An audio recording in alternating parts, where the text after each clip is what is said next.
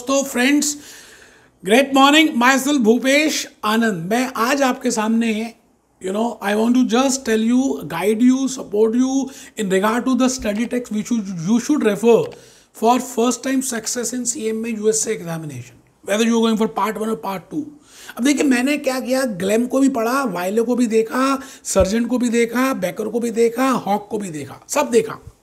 लेकिन कहते हैं ना कि there some some part some section some part is better in Gleim for example मुझे फाइनेंशियल स्टेटमेंट एनालिसिस है ना? Financial statement analysis C M A USA part two section A Gleim का ज़्यादा अच्छा लगा।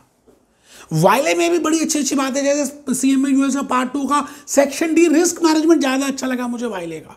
इट मीन्स कुछ किसी में अच्छा है, कुछ किसी में अच्छा है and if I see Becker better part one में डिसीज़न पार्ट वन में cost section D cost classification cost management is very beautifully given but जब मैं नीचे पहुँचा हॉक के पास तो दोस्तों 80 परसेंट सेक्शंस मुझे ज़्यादा बेटर लगे। इन हॉक, ऐसा नहीं है कि ग्लेम में अच्छा कुछ नहीं है वायले में नहीं है सर्जेंट में नहीं है बैकर में नहीं है बट अपना अपना ओपिनियन है। मुझे ऐसा लगा कि हॉक, मुझे ज़्यादा समझ आया। तो एज अ स्टूडेंट जब मैंने उसको पढ़ा तो मैं बस यही रिकमेंड करना चाहता हूँ कि if you have a choice it is better if you go for Hock